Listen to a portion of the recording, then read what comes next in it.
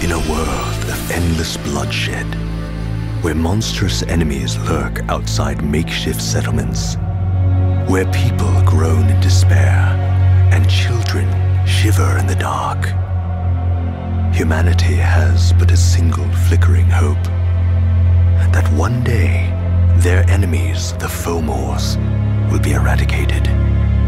Legend tells of a paradise, a land known as Erinn, a land without illness or pain.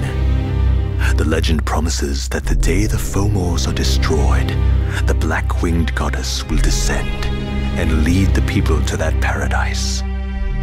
And so they wait.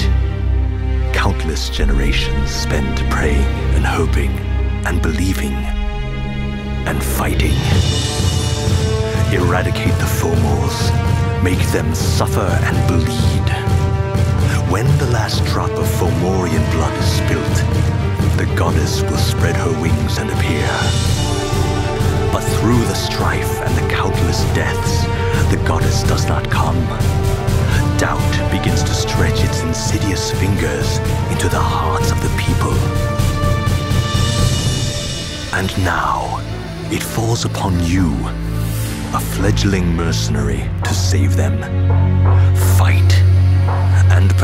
Through your efforts, they will one day be vindicated.